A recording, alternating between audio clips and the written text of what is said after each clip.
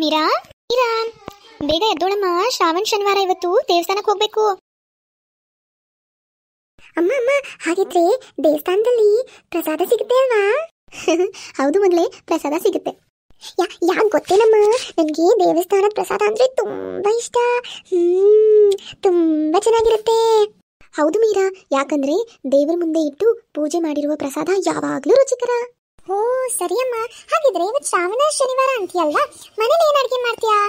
ನೀನು ನೀನು ರುಚಿಕರವಾಗಿರುತ್ತೆ ಅಂದ್ಯಲ್ಲಮ್ಮ. ಹಂಗಂದಿದ ತಕ್ಷಣ ನೋಡಿ ನನಗೆ ಹೊಳೆದೋಯ್ತು. ಹಾ, ಹೌದು ಮೀರಾ.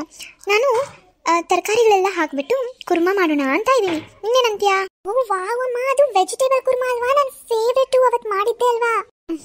ಹೌದು ಮೀರಾ, ಅದನ್ನೇ ಮಾಡ್ತೀನಿ. ಹಾಗಿದ್ರೆ ಇವತ್ತು ನನಗೆ ಎರಡೆರಡು ರುಚಿಕರವಾದ ಅಡುಗೆ ಸಿಗುತ್ತಮ್ಮ. ಒಂದು ನೀನ್ ಮಾಡು ವೆಜಿಟೇಬಲ್ ಕುರ್ಮಾ. ಇನ್ನೊಂದು ದೇವರ ಪ್ರಸಾದ. ಹ್ಮ್ ಈಗ ಹೋಗಿ ಬೇಗ ಬೇಗ ನೀನ್ ರೆಡಿಯಾಗಿ ಬಂದ್ರೆ ಹೊರಡ್ಬಹುದು ಯಾ ನಾನ್ ರೆಡಿ ಅಮ್ಮ.